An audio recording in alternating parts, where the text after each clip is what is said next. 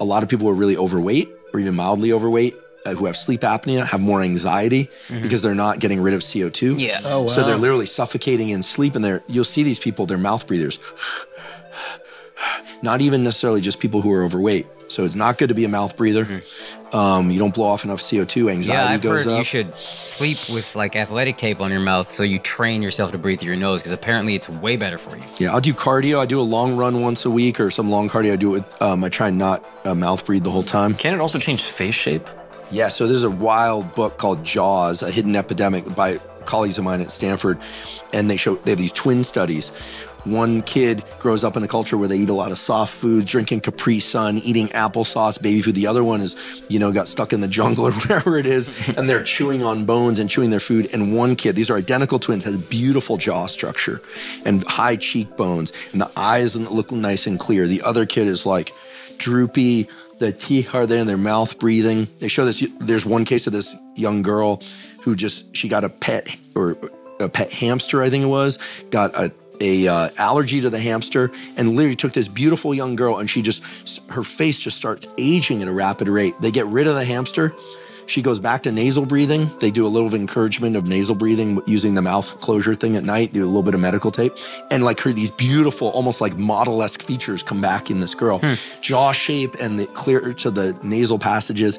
You know, really, there's no reason why any of us should ever had had. bra- I had braces, but all your teeth should fit in your mouth, mm-hmm. right? And you should be able to put your tongue on the roof of your mouth with your mouth closed. I can't quite do it. Your, your palate should be somewhat wide, you know. And so when we see now, there's the Jawzerciser is really big in Hollywood. That and peptides are like taking over. Wait, Jawzerciser? Yeah, they, these like things where like Bouncy mouthpiece. yeah. It looks. The only problem is it makes people drool. It's pretty gross. But you know, you, it's Those work? Exercise. They definitely work. They change your facial structure. They dilate the the um, uh, the nasal passages. You look at somebody who keeps their facial muscles strong. There's and this is for women and men. Their jaw muscles strong. We're not talking about the like you know like.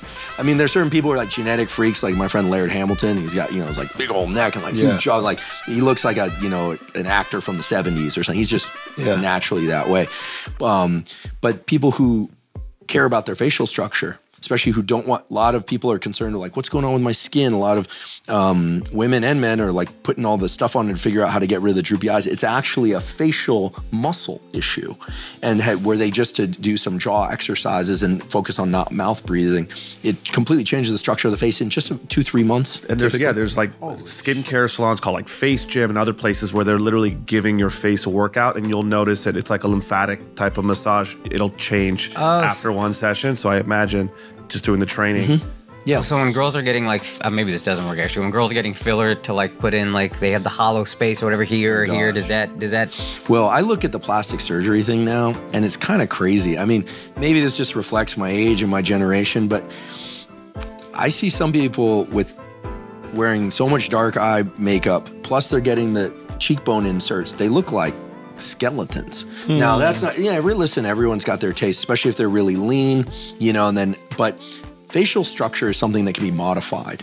Um, and so the, having a chewing your food, chewing hard foods is something we used to do a lot more. All this slurping down of food and calories we know isn't good from the obesity side, but it's also not good from the jaw structure, teeth structure, face structure, and it's all related. You know, so that book Jaws is amazing. The people can just look it up online if they Yeah. want to buy the book. Just do um, you know Jaws, um, mouth structure, face structure, and then just go images, and you'll see these pictures. And this was known in the 1800s. There was a book called Shut Your Mouth by a British doctor who talked about the fact that people who snore sleep like this and then during the daytime they become mouth breathers.